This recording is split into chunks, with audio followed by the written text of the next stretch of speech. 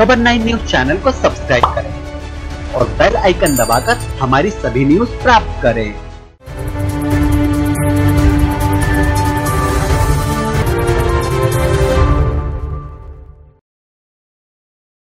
नमस्कार, आप देख रहे खबर नाइन और मैं हूँ आपके साथ प्रिया। आइए नज़र डालते आज की मुख्य खबरों पर। मध्य प्रदेश की 28 सीटों पर विधानसभा उपचुनाव की तारीख घोषित होने के बाद भाजपा उम्मीदवार मनोज चौधरी के चुनाव संचालन के लिए चुनाव कार्यालय का प्रारंभ होना शुरू हो गया है।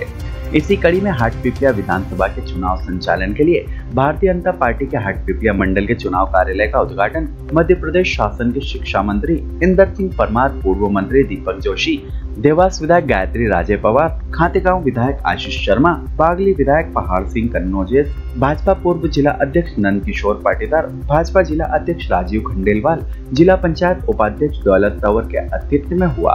विधानसभा मुख्यालय के इस चुनाव कार्यालय के माध्यम से ही आगामी उपचुनाव का संचालन किया जाएगा, तथा सभी प्रकार की चुनावी सामग्रियों का वितरण भी इसी कार्यालय के माध्यम से होगा। कार्यक्रम का संचालन मंडल अध्यक्ष बलवान सिंह उदावत ने किया।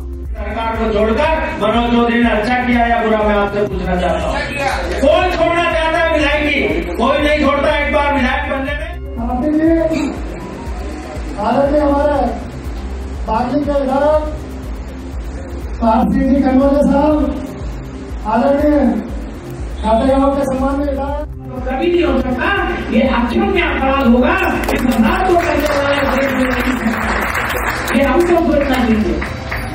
बराबर है। एक महीने के लिए पार्टी आपसे समय मांग रही है इस चुनाव के लिए। हमारे उम्मीदवार आज पीपलिया विधानसभा उपचुनाव के हमारे प्रत्याशी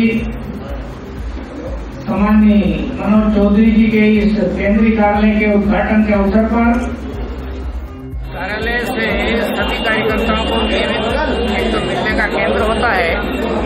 और जो भी पार्टी के और चुनाव से संबंधित विषय रहते हैं वो सब कार्यालय से ही संचालित होते हैं। एक प्रकार से कार्यालय जितनी व्यवस्थाएँ और जितना व्यवस्थित प्लानिंग कर सकते हैं वो कार्यालय से ही संभव हो सकता है।